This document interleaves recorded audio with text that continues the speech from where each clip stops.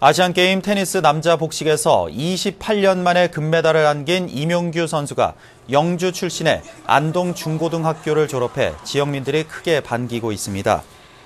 올해 23살인 임 선수는 영주에서 출생해 테니스 유망주로 안동중과 안동고 테니스부에서 기량을 닦았으며 현재 당진시청 소속으로 활동하고 있습니다. 임 선수는 지난해 제27회 하계 유니버시아드 남자 단식에서 우승을 차지했고 주니어 시절에는 국내 최고 권위의 장호배를 4년 연속 우승한 바 있습니다.